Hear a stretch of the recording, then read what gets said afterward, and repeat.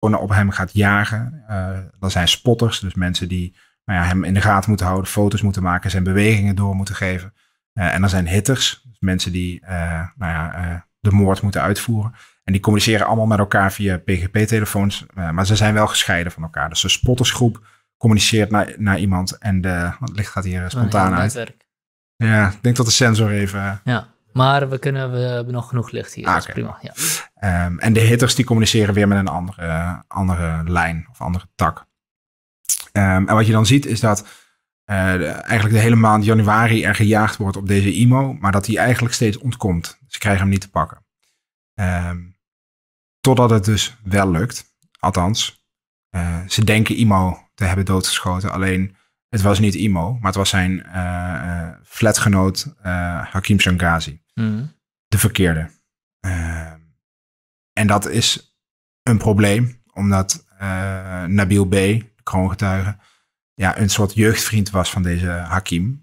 maar in de dagen erna ook meteen ja, op straat in Utrecht bekend wordt dat deze Nabil daarmee te maken heeft. Ze hebben hem gezien, ze weten dat hij een bepaalde vluchtauto heeft gebruikt of heeft geleverd aan de groep. En dat verhaal wordt bekend. Ik moet even een klein hoesje doen. Ja. En, en de Shankazi-familie is ook een... Kijk, het licht gaat, het licht gaat direct weer aan. De Shankazi-familie is zelf ook een bekende, beruchte familie, toch? Ja, de, de Shankazi-familie is inderdaad een bekende uh, familie in, de, nou, in het Utrecht, om het zo te zeggen.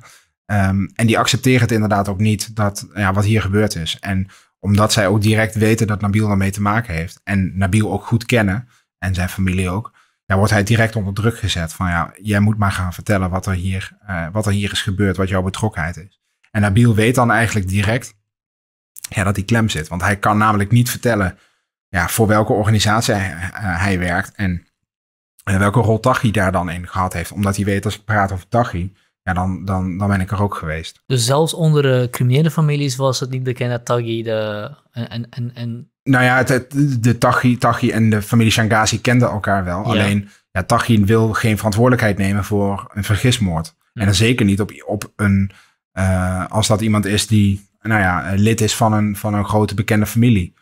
Uh, dus dat, dat, dat kon niet. Uh, en die, ja, die verantwoordelijkheid nam hij ook niet. Want je ziet in de chatgesprekken ook dat, nou ja, dat dat hij met een soort smoes komt die Nabil dan moet gaan vertellen dat dat te maken heeft uh, uh, dat hij een auto geleverd zou hebben voor een Amsterdamse groepering waarmee Tachi in oorlog is. Want dan heeft hij het idee van, nou ja, als we, als ze dat verhaal geloven, dan kun ik die Shangazis misschien ook wel gaan gebruiken in mijn oorlog tegen die Amsterdammers. Ja. Dus zo zie je hoe daar dan ja, over nagedacht wordt om iets in iemands schoenen te schuiven. Um, dus dat, dat speelt dan allemaal mee. En eigenlijk die Nabil in, in, in ongeveer twee dagen tijd ja, komt hij erachter van ik ga hier niet meer uitkomen. Want of ik, ik vertel de waarheid en ik vertel de rol van Tachi, maar dan ben ik er geweest. En anders, eh, als ik niks doe, ja, dan, dan, dan rekenen de Shanghazi's wel met mij af. Dat is wat hij daarover uh, ja, over denkt. En dan besluit hij eigenlijk van ja, ik kom hier niet meer tussenuit. De enige manier wat ik kan doen is naar justitie gaan en kroongetuige worden. En uh, hij laat zich dan uh, in, in de PC Hoofdstraat in Amsterdam met een smoes aanhouden. Hij belt de politie en zegt dat hij gewapend is. Uh, maar hij wordt meegenomen naar het bureau en daar vertelt hij eigenlijk direct van... nou, ik wil kroongetuige worden en ik kan verklaren over liquidaties en over Ridwan Taghi. En dat is het begin. Het is dan halverwege januari 2017. En we zijn nu drie jaar verder en nou ja, er is hoop gebeurd in die, in die tussentijd. Ja,